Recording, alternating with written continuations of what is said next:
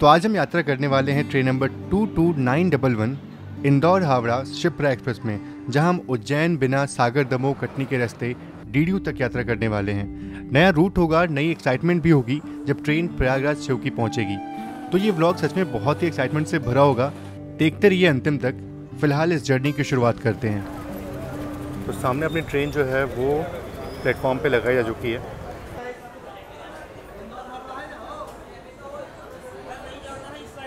तो अपनी ट्रेन तो लग चुकी है पर एक दिक्कत की बात ये है कि सारी ट्रेनों में लगभग जो बेडिंग्स है वो मिल रही है लेकिन इस ट्रेन में जो बेडिंग्स जो है वो नहीं मिल रही है। ये है यार बड़ा अच्छा लग रहा है स्टेशन पे आप बैठ कर चद्दर देख रहे हो।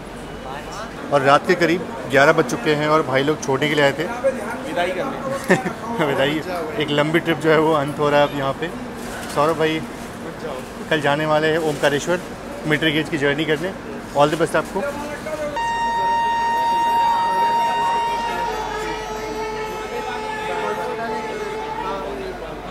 चलो भाई बाय बाय बाय गाइस भाई उधर एग्जिट उधर है।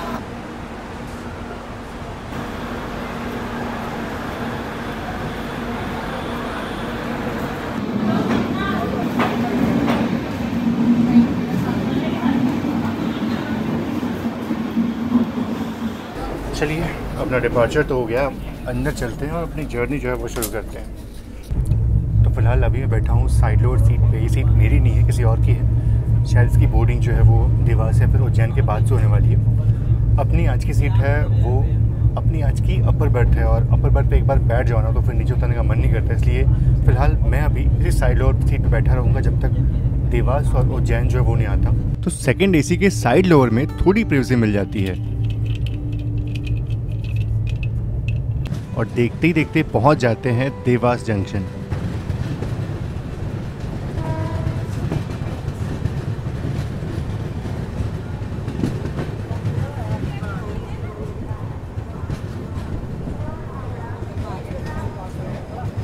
तो वक्त हो चुका है, रात के 12 बजे का और पहुँच चुके हैं देवास। और देवास एक जंक्शन है, जंक्शन इसलिए क्योंकि यहाँ से एक लाइन जो है, वो मक्सी की तरफ़ निकल जाती है। और हैरानी की बात ये है कि यहाँ से एक डायरेक्ट लाइन जो है मक्सी की तरफ़ बन चुकी है, लेकिन ट्रेनें जो हैं, वो वाया उज्जैन होते फिर मक्सी पहुँचती हैं। तो समय की बचत हो सकती है अगर ट्रेनें डायरेक्ट यहाँ से मक्सी जाएँ, लेकिन हाँ उज्जैन में जो हॉल्ट है, वो थोड़ा कम हो जाएगा। तो शायद ये कारण हो सकता है। बाकी बात करें अगर देवास की ना तो बहुत ही इम्पोर्टेंट सिटी है ये।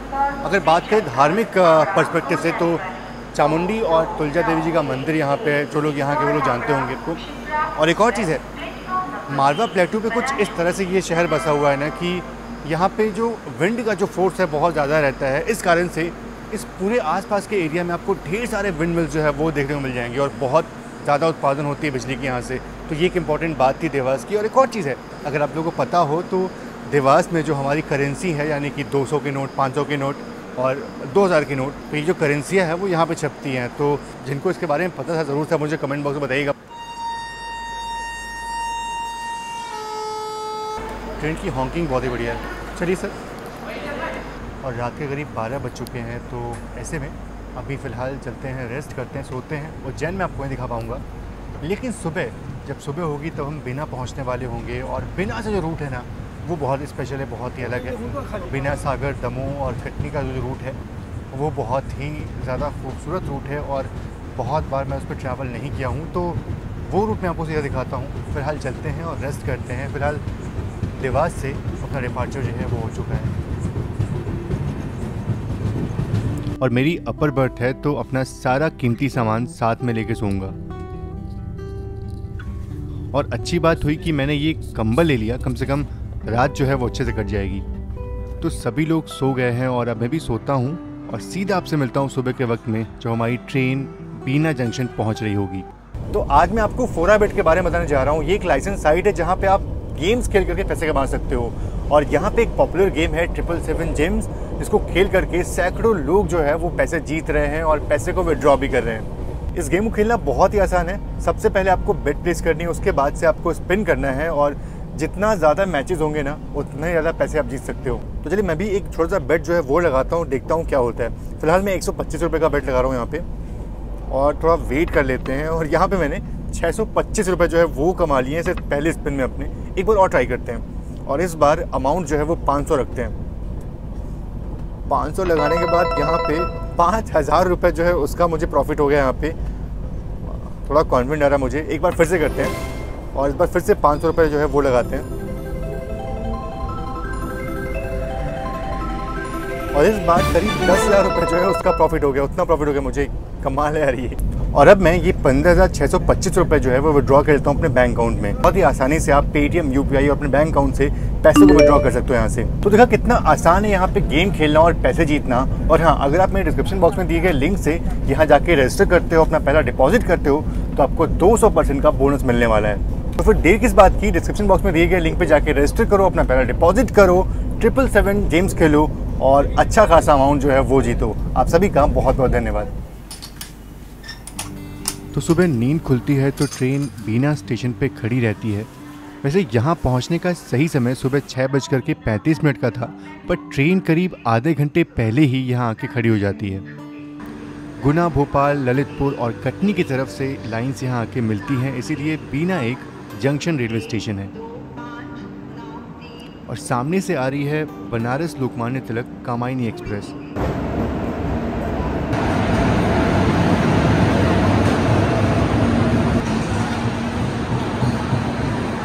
और डब्ल्यू जी नाइन के साथ किसी पैसेंजर ट्रेन की भी एंट्री हो रही है बिना जंक्शन पे।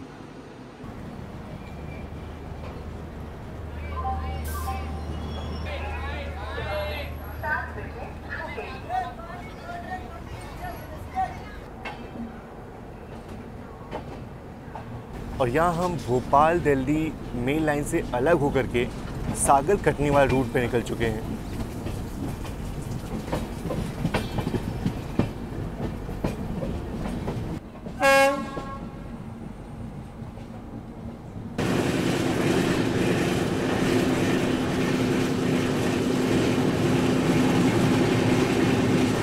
अभी भी मेरे कोच के लोग गहरी नींद में सोए हुए थे।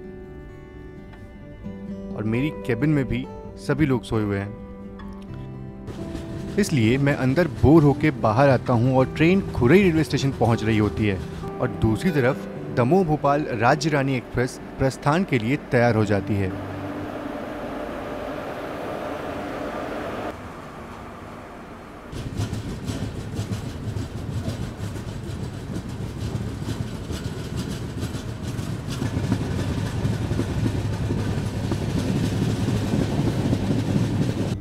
और अभी भी मेरे को पैसेंजर सो रहे थे और काफ़ी देर बैठे रहने के बाद मैं बोर होकर वापस से बाहर चला जाता हूँ। ट्रेन रुकी हुई थी और हल्की हल्की बारिश हो रही थी। ऐसे मौसम में और चाय मिल जाती तो क्या ही कहना था। और चाय मिल भी जाती है, पर एकदम फीकी सी। और मैं यहाँ एक अजीब सी चीज़ ढूंढ रहा था। जी हाँ हमेशा की तरह मैं टूथपेस्ट लाना भूल जाता हूँ। तो दूर उस तरफ़ मुझे।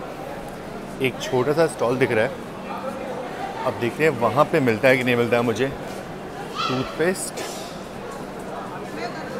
इस सामने वाले स्टॉल पे मुझे उम्मीद तो थी कि मिल जाएगा, लेकिन यहाँ पे टूथपेस्ट जो वो ख़त्म था। चलिए, अपने डिपार्चर का वक्त हो चुका है यहाँ से। तो बिना टूथपेस्ट लिए सागर स्टेशन से भी ट्रेन निकल जाती है। और सागर रेलवे स्टेशन हमेशा से ही साफ़ सफ़ाई के मामले में अव्वल रहा है।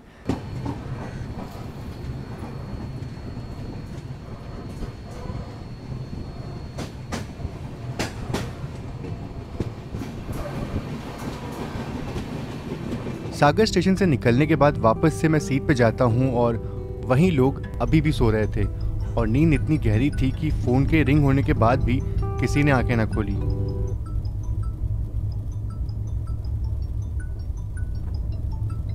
खैर, सागर स्टेशन से कुछ ही दूरी बाद दमोह रेलवे स्टेशन भी आ जाता है और यहाँ पहुँचने के बाद मुझे एक बोर्ड दिखता है जहाँ दिगंबर जैन तीर्थ क्षेत्र के बारे में कुछ लिखा हुआ था। पढ़ने पे पता चलता है कि यहाँ से करीब 35 किलोमीटर की दूरी पे बड़े बाबा का एक विशाल मंदिर है। लाखों लोग दर्शन के लिए आते हैं। और बाकी दमोह में मुझे इसके अलावा कुछ खास दिखा नहीं। बाकी जो लोग यहाँ के हो, मुझे ज़रूर से दमोह के बारे में कुछ स्पेशल हो तो बताना।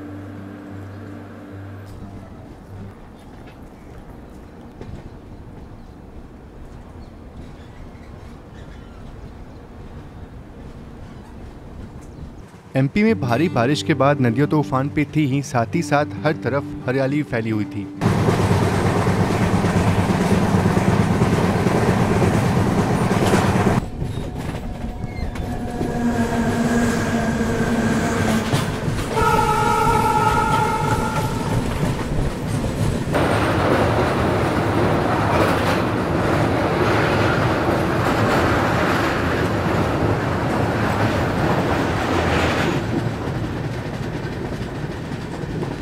और इस रूट पे भी थोड़े समय के लिए खूबसूरत घाट सेक्शन आता है।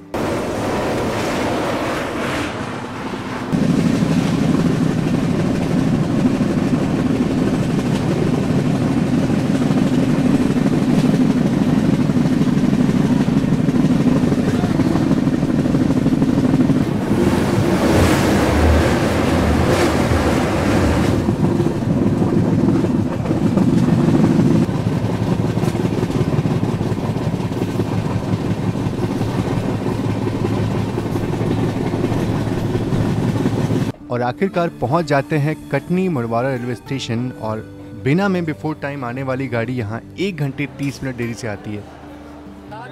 कटनी में समोसे मिर्ती ना मिलने के कारण से इडली लेता हूँ। अब आके ले आइए।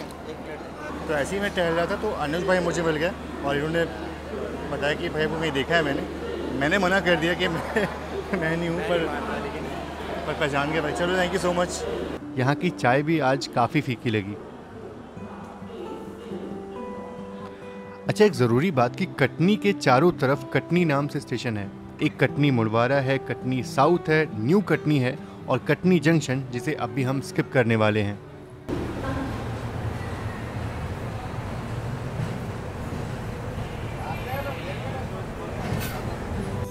और ये हम कटनी जबलपुर मेन लाइन में एंटर कर रहे हैं और कटनी जंक्शन स्किप करने वाले हैं। और यहाँ मुझे मिल जाती है हावड़ा से इंदौर जाने वाली शिप्रा एक्सप्रेस।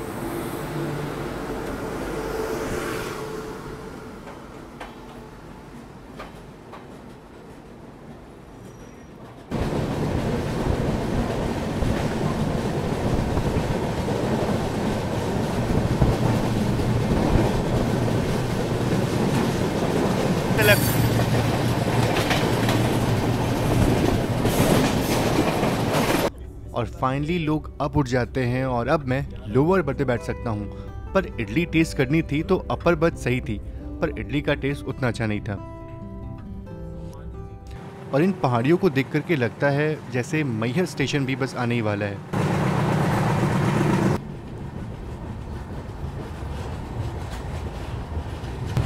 ये इतनी भीड़ आ रही है क्या? या किसी का वेलकम करने के लिए इतनी भीड़ है? नहीं, ये वाकई भीड़ आ रही है। मैहर स्टेशन पे मेनली माँ शारदा देवी मंदिर जाने और आने वाले लोगों की भीड़ रहती है और यूपी बिहार एमपी के लोग यहाँ हर खुशी के मौके पे दर्शन के लिए आते रहते हैं।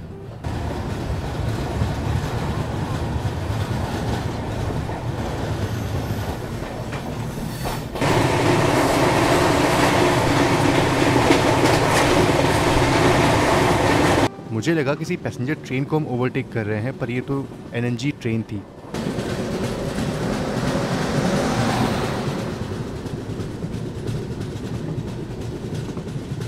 और इस रूट पे हर आधे घंटे पे कोई ना कोई स्टेशन आ जाता है। फ़िलहाल सतना जंक्शन पहुँच रहे हैं। जब हम इंदौर से निकले थे तो मौसम बहुत ही बढ़िया था। बादल थे, बारिश हो रही थी।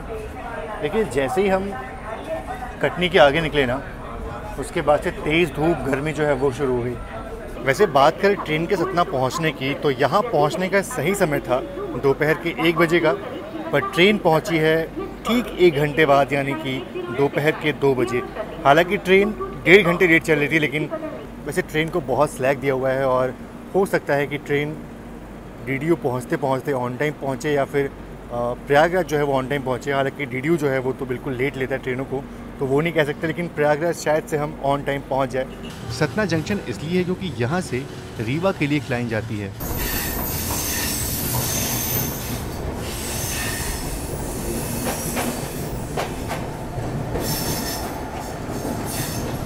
जिस जगह पहले डीजल इंजन दिखा करते थे, आज वहाँ डीजल इंजन की जगह सिर्फ़ इलेक्ट्रिक इंजन दिखाई दे रहे हैं। और ये मैंने ट्रेन का लंच ऑर्डर किया था, जिसकी क्वालिटी बहुत ही वाहियात थी, पर दाल थोड़ी सी अच्छी थी तो अपना खाना खुद लेकर के इस ट्रेन में आ जाओ तो ज़्यादा अच्छा रहेगा।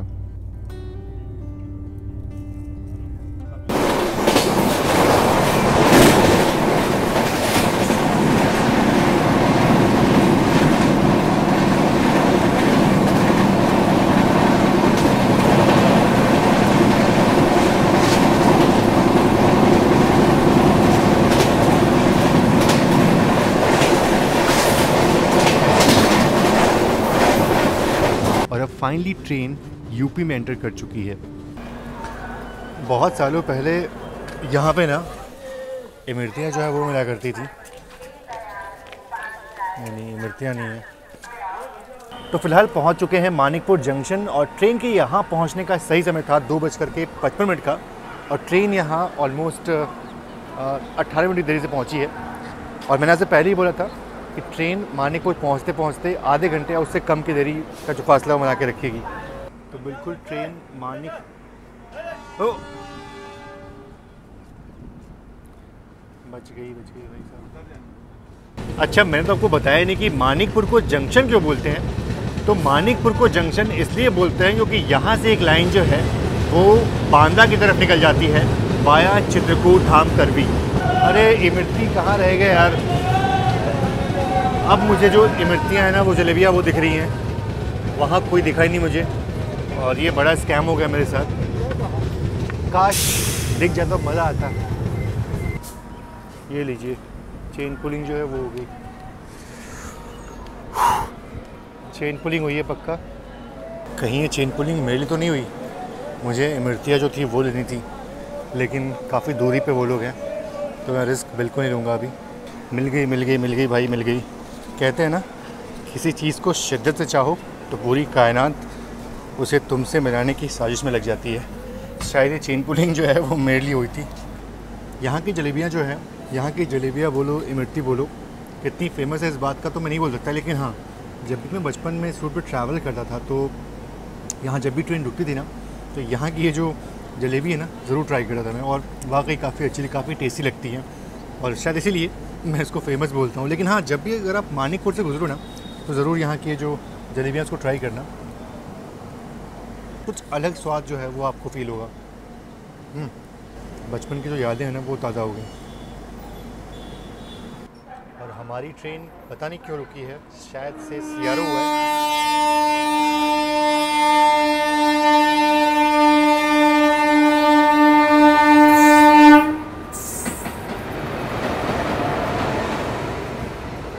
और ये है हमारी सबसे लेजेंडरी गाड़ी महानगरी एक्सप्रेस। इस ट्रेन का आगमन हुआ और हमारी ट्रेन का यहाँ से प्रस्थान हुआ।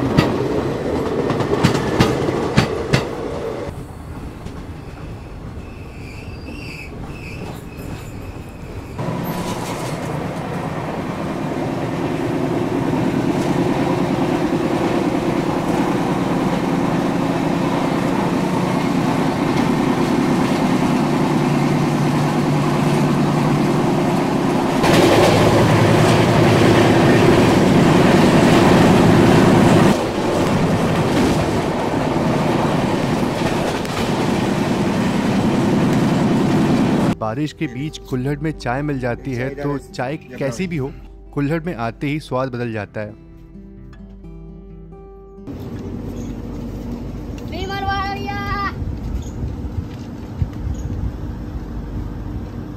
अब यही वो जगह है जहाँ पे ट्रेनें जो है वो और लेट होती हैं। वैसे हमारी ट्रेन और लेट हो चुकी है। मुझे लगा शायद 4:35 पे हम बहुत ही आराम से पहुँच जाएँगे प्रयागराज। पर ट्रेन बहुत रुकी और आलम ये है कि पाँच बजने को आए और अभी भी ट्रेन नैनी नहीं पहुँची है। तो प्रयागराज पहुँचने का जो सपना था जल्दी पहुँचने का, वो तो ख़त्म हो चुका है। पता नहीं क्यों, ऐसा क्यों होता है कि रेलवेज़ इतनी लेट करती है ट्रेनों को? और ख़ास तौर पे प्रयागराज की बात करें ना तो 15-20 सिग्नल होंगे मेरे ख्याल से वहाँ पहुँचने के लिए। हर सिग्नल को पार करना बहुत बड़ी चुनौती होती है। एक सिग्नल को पार किया, दूसरे पर रुक जाते देखिए, आपको खुद देखने को मिलेगा। फ़िलहाल अभी पाँच बजे का वक्त हुआ है। आप बस देखते जाइए, कितना ज़्यादा और लेट होती है ट्रेन यहाँ पे। पर अच्छी बात थी कि ज़्यादा देर तक गाड़ी आउटर में खड़ी नहीं रही।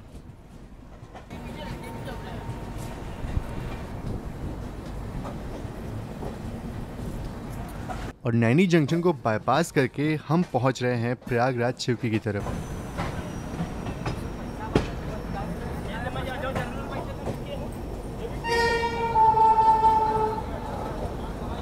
और सामने कोई तो ट्रेन आ रही थी प्रयागराज जंक्शन से और ये शायद से आनंद विहार कामाख्या सुपरफास्ट थी।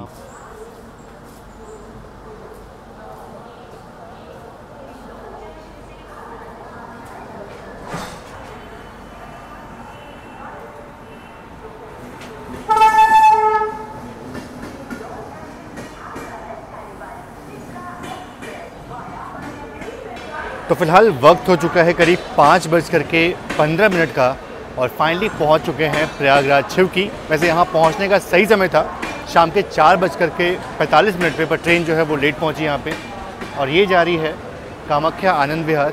और ये जो गाड़ियाँ हैं ना, ये प्रयागराज जंक्शन से आती हैं और जिनको डी की तरफ़ जाना होता है, विंध्याचल, मिर्ज़ापुर होते हुए, वो इसी तरह से जाती हैं। और हमारी ट्रेन भी अब आगे इसी लाइन में मिलने वाली है। और जैसे ही हम प्रयागराज डी मेन लाइन में मिलेंगे, उसके बाद से हो सकता है कि शायद हमारी ट्रेन को कुछ और ट्रेनें जो हैं वो ओवरटेक करें। वैसे हमारी ट्रेन ने किसी को ओवरटेक तो किया नहीं, क्योंकि इतनी प्रायोरिटी है नहीं इसको। तो इस कारण से हो सकता है कि इस ट्रैक पे इसको कई सारे ट्रेनें जो हैं वो ओवरटेक करें। देखते हैं क्या होता है फ़िलहाल। तो इंदौर से करीब 930 किलोमीटर की जर्नी जो है वो पूरी हो चुकी है अभी। और हमारी ट्रेन जो है वो करीब करीब आधे घंटे यहाँ लेट पहुँची है। ऐसे में फ़िलहाल दो ट्रेनें जो हैं वो हमारी ट्रेन को ओवरटेक कर सकती हैं। एक है बाड़मेर, हावड़ा और दूसरी है सीमांचल। तो ये दोनों ट्रेनें जो हैं, ये हमारी ट्रेन को ओवरटेक करेंगी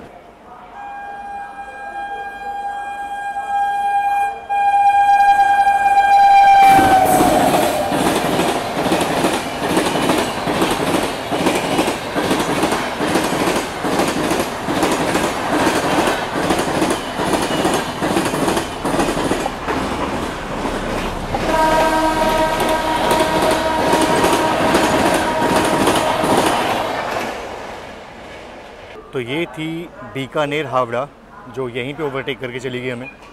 अब वेट करते हैं और शायद से सीमांचल भी हमें यहीं पे ओवरटेक करेगी। तो फ़िलहाल अपना तो डिपार्चर यहाँ से हो चुका है, लेकिन सीमांचल और कालका मेल दोनों ही फ़िलहाल पीछे हैं। और अगर देखा जाए तो डीडीयू पहले सीमांचल पहुँचती है तो वो तो ओवरटेक पक्का से करने वाली है। बाकी बात करें कालका मेल की तो उसका भी कुछ भी कहना ठीक नहीं होगा। देखते हैं क्या होता है, कालका मेल ओवरटेक करती है या नहीं करती है। और अगर कालका मेल ने हमारी ट्रेन को ओवरटेक किया मतलब समझ जाओ कि इस ट्रेन को कितनी प्रायोरिटी मिलती है। यह गाड़ी for kind attention of of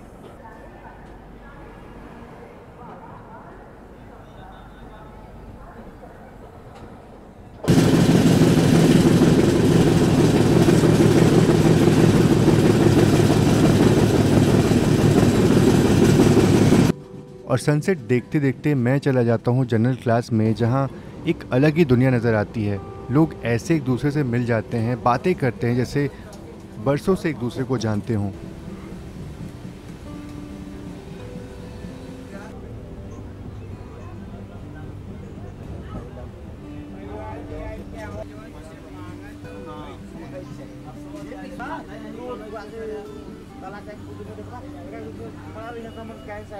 तमसा हो तमसा और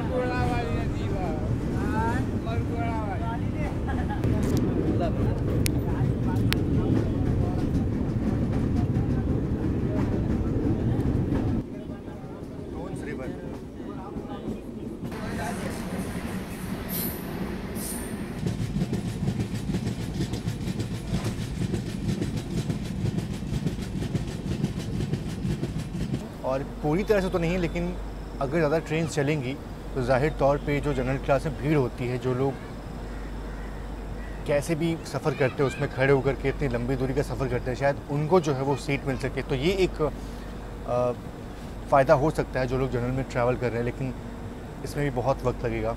मैं क्यों ही झूठ बोलूँ? पर ये सब होने में अभी बहुत टाइम है, लेकिन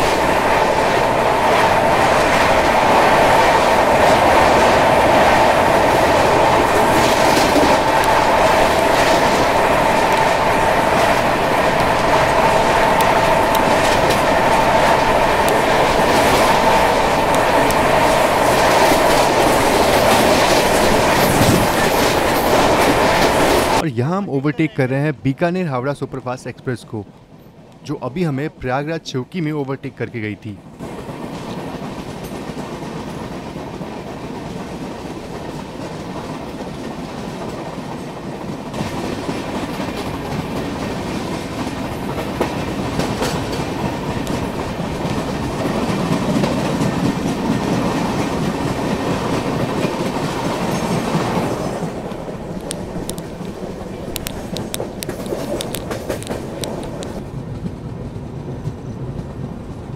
Vindhyachal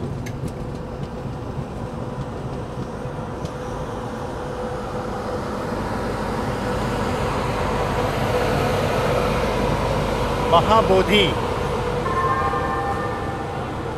May I have your attention please? One, two,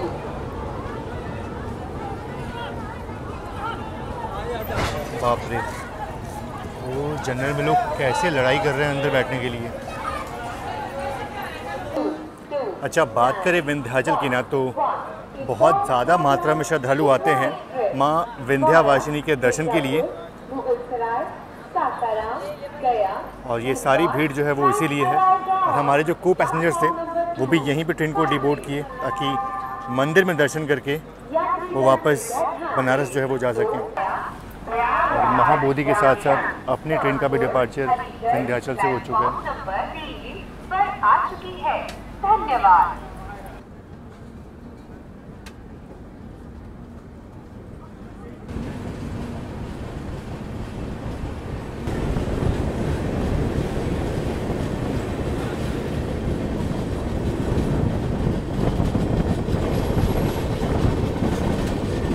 चलिए अपना डिपार्चर जो है विंध्याचल से हो चुका है, बाकी हमारे जो पैसेंजर थे, वो लोगों ने ट्रेन को डिबोर्ड कर दिया यहाँ पे। और अब हमारा हॉल्ट जो है वो मिर्ज़ापुर होने वाला है और इंटरेस्टिंग चीज़ ये है कि 60 किलोमीटर के अंदर ही 60 नहीं बल्कि 40 किलोमीटर के अंदर इस ट्रेन के ऑलमोस्ट तीन स्टॉप्स हैं। तो ये बहुत ही सोचने वाली बात है। और एक और चीज़ ये देखना है कि जो बीकानेर हावड़ा एक्सप्रेस थी, वो हमें ओवरटेक करती या नहीं करती, क्योंकि करना तो चाहिए। अगर देखा जाए तो उस ट्रेन का डी में जो अराइवल है वो करीब छः बज कर के अट्ठारह मिनट पे है। हालाँकि ट्रेन एक घंटा लेट चल रही है, लेकिन फिर भी उसको हमसे पहले पहुँचना चाहिए। तो ओवरटेक तो वो करेगी तो ये लॉजिक समझ में नहीं आया कि वो हमें ओवरटेक करके जाती है, फिर हम उसको ओवरटेक करते हैं डी डी पहुँचने से पहले, वो भी हमें शायद से ओवरटेक करे। बड़ी इंटरेस्टिंग सी जर्नी चल रही है ये, और एकदम लास्ट फ़ेज़ पे हम आ चुके हैं। हमारी जर्नी बस अब एंड होने वाली है, क्योंकि मैं डी में ट्रेन को डिबोट करूँगा। हालाँकि ट्रेन हावड़ा तक जाने वाली है, लेकिन वहाँ तक सफ़र करने का कोई इरादा नहीं है। वो भी क्योंकि सब कुछ, सारा जो सेक्शन है वो रात के अंधेरे में निकलने वाला है तो कोई मतलब नहीं है उसको शूट करने का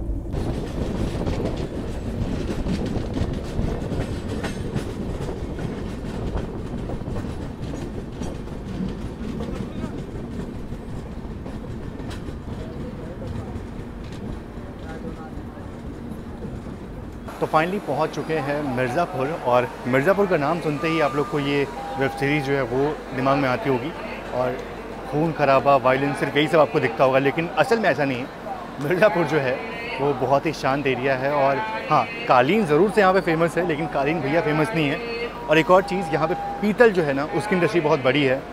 और सबसे खूबसूरत चीज़ मिर्ज़ापुर की ये है कि यहाँ बहुत अच्छे अच्छे वाटरफॉल्स है, एक प्रॉपर हिल स्टेशन टाइप का है तो बहुत ही खूबसूरत जगह है ये। तो आसपास के जितने भी लोग हैं, पूर्वांचल के जितने भी लोग हैं ना, वो यहाँ पे आते हैं घूमने के लिए। तो मिर्ज़ापुर जो है, वो खूबसूरत है। वायलेंस पहले था, आज के ज़माने में नहीं है, आज बहुत ही शांत है। और अब हमें ये भी देखना है कि जो बीकानेर हावड़ा एक्सप्रेस है, वो भी आती है नहीं आती यहाँ पर हालाँकि फ़िलहाल तो कोई उम्मीद दिख नहीं रही, और हमारा डिपार्चर यहाँ से हो गया। तो यहाँ तो कोई ओवरटेक नहीं होगा, वैसे भी दोनों का हॉल्ट है यहाँ पर तो देखते हैं कि ओवरटेक जो है वो होता है नहीं होता है। केसरी हाँ? हैं? केसरी नाम नाम नाम क्या आपका? चलो ठीक है ठीक है आराम से चलो ठीक है बाय श्रीज केशरी बाय बाय बाय काफ़ी अच्छा लगता है जब ऐसे कोई मिल जाता है।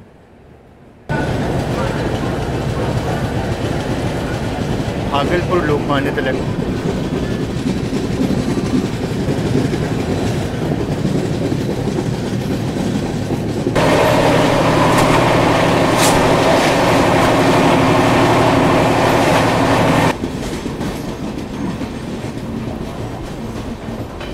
जैसे जैसे शाम ढल रही है ना वैसे वैसे घर पहुँचने की जो उत्सुकता है बढ़ती जा रही है। अच्छा एक और चीज़ फ़िलहाल अभी हम चुनार पहुँच चुके हैं और चुनार जो है वो मिर्ज़ापुर के अंदर में आता है और सबसे इंटरेस्टिंग चीज़ ये है कि 40 किलोमीटर से भी कम के फासले में तीन हॉल्ट्स पड़े एक साथ। एक तो विंध्याचल, फिर मिर्ज़ापुर और ये चुनार।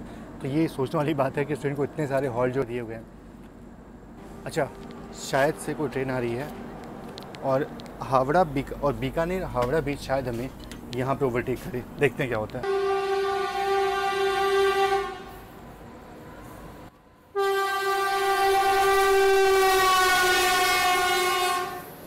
ये तो गड़बड़ हो गई।